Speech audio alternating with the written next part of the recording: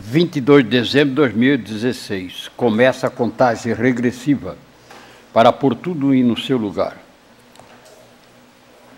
Afastaram-se de mim como o diabo tem medo da cruz. Ele, o mais terrível, vem sempre perseguindo os que já são meus. A vida de cada um daqui para frente vai depender se vier fazer a minha vontade e não a de um que se diz servidor meu. Esses que vêm distorcendo o que os profetas escreveram, todos serão réus meus. A embarcação que recebe os meus convidados, de nenhum desses que vem me enfrentando, jamais terei piedade. Sei quem são os meus e os que não são mais e os que não mais me pertencem. É por isso, meu filho, esse teu sofrimento são algum desses que vêm sempre te enganando, dizendo o que não deviam. A pessoa que, quando vê um filho meu, ele já conhece, então bate o ciúme e a inveja, querendo destruir esta obra que por mais de centenas de anos outro não poderia ter escrito esses assuntos tão sagrados. Um simples homem como tu és diante de mim jamais teria esta sabedoria que estás tendo. Por isso, quando um deles começa a ler, fica enraivado por não ter esta capacidade que tens. Hoje, meu filho começa a contagem regressiva para pôr tudo no seu lugar, conforme eu criei. Que não havia o intruso, ele já foi o meu melhor anjo. Hoje é um revolucionário, fazendo de tudo para acabar com os meus mandamentos. Leis que deixei para serem cumpridas e não tirar um só tio das minhas santas palavras.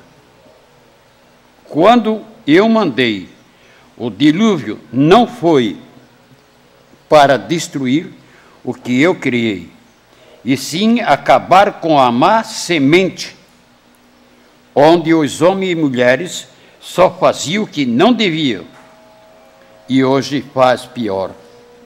Como é que vou deixar os meus filhos viveram sofrer, virem sofrer. Veja que não são só os mais fracos, são pessoas que vêm te ajudando, meu filho, Papa Pedro II. Olhe que são bem poucos dos teus parentes que vêm reconhecendo que tu és o enviado meu. Por isso que foi escrito que nem todos que vêm batendo no peito, Senhor, Senhor, serão salvos.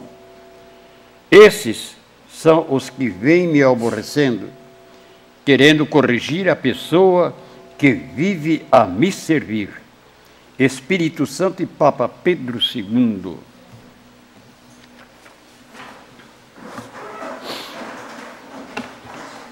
O que diz aqui na, na mensagem não só os mais fracos, mas pessoas que tinham vontade de ajudar. Eu ouvi da boca de um que disse: Tudo que eu vou fazer agora, eu vou te ajudar. Foi a pior coisa, foi a pior coisa eu dizer aquilo. Aí distorceu tudo. Estava tudo certo. Foi só dizer que ia me ajudar, acabou. É isso que o bicho vem atrapalhando os planos de Deus. Não é só financeiramente, mas os planos de Deus. Eles lê e vê que o homem não tem capacidade de escrever por sua cabeça uma, um assunto desse. A embarcação, que eu também não sei o que é, que vai embarcar os meus escolhidos, jamais ele terá piedade dos outros. É, porque é uma coisa tão real. quando Noé fez a arca, só a família dele que embarcou. E o restante, o dilúvio matou tudo. Agora ele vem fazer uma limpeza. A embarcação que recebe os meus convidados, de nenhum desses que vem me enfrentando jamais terei piedade. Sei quem são os meus que não que não mais, aliás, sei quem são os meus e os que não são mais, não mais me pertence.